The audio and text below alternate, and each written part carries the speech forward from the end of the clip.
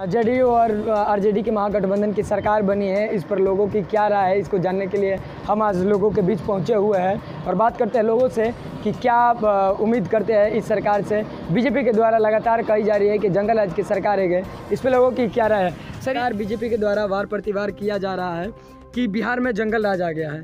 क्या लगता है जंगल राज आ गया है बिहार में? नहीं देखिए हम इसको तो सिरे से खारिज करते हैं। क्योंकि अगर नीतीश कुमार जी के साथ बीजेपी थी तो उस समय जंगल राज नहीं जंगल राज नहीं था। और आज जो है कि जो पूरा बिहार युवा का मांग कर रहा था और आज तेजस्वी यादव के साथ नीतीश कुमार जी मिलकर और एक अच्छा सरकार बनाने का काम किए तो उसको ये लोग जंगल राज कहते हैं। हम्म, हाँ ये कोई बात नहीं है ये जो है कि ढकोसला है और ये उन लोग का गलत विचार है बीजेपी वाले लोग का और का हम एक एक संदेश देना चाहेंगे कि पूरे इस बिहार का युवा जो है कि तेजस्वी यादव से काफ़ी उम्मीद लगा रखे हैं कि हम लोग के लिए वो कुछ करेंगे और हम लोग को भी उम्मीद है कि इस उम्मीद पर खरा उतरेंगे। खरा उतरेंगे। बिहार में जंगल राज की सरकार आ गई है। क्या आप लोग कहते हैं? देखिए जंगल राज जो लालू जी के शासनकाल में हुआ था कि पूरे जनता को दिन में चलना जो है खलल हो गया था।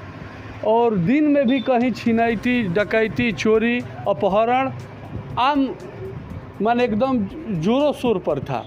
आपने देखा होगा कि मुथैया जो कि डीएम थे, ये छपरा के, उनको दिन में उनको लाठी से मार कर और हत्या कर दिया गया सरेआम रोड पर। तो उस अध्याय को लोग जंगल राज के अध्याय से कहते थे। लेकिन जब भी एनडीए गठबंधन की सरकार इस बिहार में बनी है, या पूरे भारत की मैं बात कह रहा हूँ, एक लड़की जो है, अगर आधी रात को यहाँ से और डुमराव स्टेशन पर चली जाती है तो उसको सुशासन की सरकार कहा जाता है। लेकिन अगर दिन में ही किसी को चलने में डर लगता है तो उसको सुशासन की सरकार नहीं कहा जाएगा। क्या लगता है सरकार जो है वो बिहार में विकास करेगी? हम नीतीश कुमार के नेतृत्व में क्या कर रही है अभी तक तो नीतीश कुमार की सरकार बेहतर मानी गई है। तेजस्वी यादव का अगर उसमें चलता है तो उसमें क्या होता है ये अब नहीं पता अच्छा, पुरानी सरकार से नई सरकार कैसी है? पुरानी सरकार से नई सरकार हो या पुरानी सरकार हो उससे अपने को अंतर नहीं है। पब्लिक को विकास चाहिए काम चाहिए और चाहे सरकार किसी का भी हो जी। चाहे डबल इंजन का हो या सिंगल इंजन का हो पब्लिक को काम चाहिए पब्लिक को काम चाहिए पब्लिक काम से संतुष्ट है। पब्लिक, चाहे किसी की भी सरकार हो, उससे कोई अंतर नहीं है। अभी जो लूट, मार, चाकू, छुरा, ये सब चल रहा है, ये सब भी नहीं होना चाहिए। मैं सरकार से भी दरख्वास्त करता हूँ कि ये सब काम नहीं होना चाहिए। सरकार किसी के भी हो, काम सही होना चाहिए और स्वच्छ होना चाहिए।